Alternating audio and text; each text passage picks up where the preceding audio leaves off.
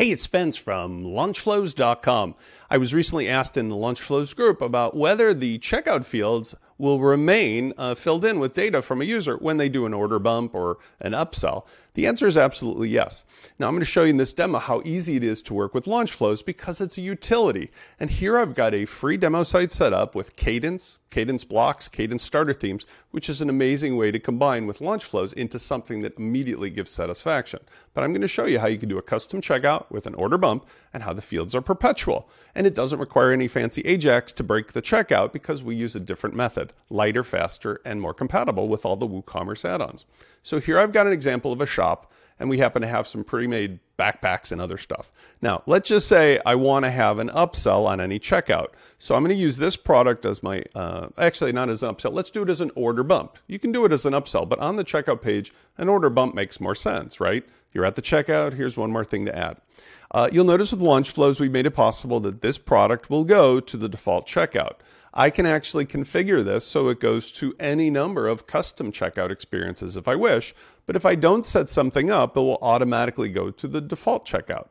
Here in the LaunchFlows tab, you can see that I can choose from any number of different locations uh, if I were to type in the name of the page, etc. Okay, so in this case, I'll leave it as the default checkout that I had it. And next what I need is the product ID because I want to add that to our order bump component. Here on the right side, I simply go to the LaunchFlows checkout link and I see that the product ID is 516. I can also see that at the top if I want it. Now let's go to our checkout page where I'm going to add this as a component. The checkout itself could be the default WooCommerce checkout, but here's an example of a free pattern that we've given that is so simple. Launchflows does not commit you to using one page builder or another. You can use anything you want with our shortcodes, or you can just use a pattern and then pop it in place with copy paste. So for example, here's about 14 different checkout layouts. One of them is what I call the modern checkout. It's much like what WooCommerce is going to be doing soon by default. It's just a little more contemporary than what their normal IRS text form looks like. So if I want to use this, I just copy the pattern code and then I go to my checkout page, I edit it, and when I paste it in, I essentially get the very same block layouts ready to go. Now, all I did here was I went to the top of that block and I said insert before, and then I typed in the uh, information to add the order bump block. So I'll do this from scratch. I said insert before, and I typed in bump, added the launch flows component, simply change the ID to 516 because that's the product I want to offer. And I'm going to change the style of the box that accepts this from a round to a square because when you're offering one item, you might want to have a radio button choice between this or that. Here I'm just offering one thing. And that's all there is to it. I click update and now I've got a custom checkout page that is servicing this and other products. And when somebody has already filled out the checkout form with their data and they add stuff, they'll be able to see their, their data still there. I want you to note that this also has an option in the um, uh, bump for uh, the description. I'm going to hide that now simply because, quite frankly, it's distracting to my purpose. And that's where these little shortcode parameters make it easy. When it says shortcode description, just change it from yes to no.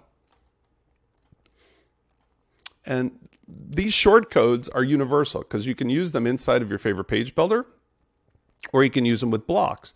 Um, and so let's go ahead and do the preview.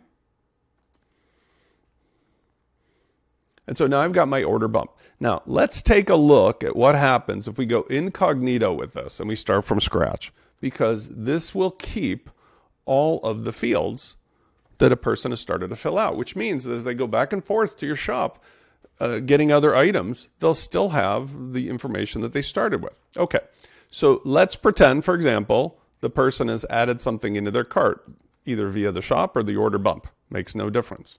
Uh, let's say they start to fill it out. So we got, you know, tom at jones.com. This is Tom Jones. You'll notice that there's also the information about which fields they need to fill in. 1234 Main Street, Chicago, Illinois, 606, I don't know, 01. Uh, we can add an order note. Hi, thanks. Leave at back door, and so forth. Now, let's say they get distracted and they go back over to the shop and they wanted to add more things. I want to add the Arctic Blast. I forgot to do that the first time. When they come back to the checkout page, everything is still filled in, ready to purchase.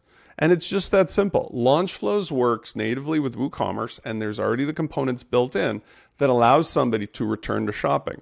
Now, you notice there's a login that also shows up. If they have an email they're trying to use that is already an existing customer, they will be able to log in with that. It will tell them a notice you already have an account. Likewise, if you use our marketing automation components, either directly in LaunchFlows or with our partner plugins, things like Uncanny Automator, WP Fusion, Fluent CRM, you can actually track somebody's full behavior and do things like abandon cart.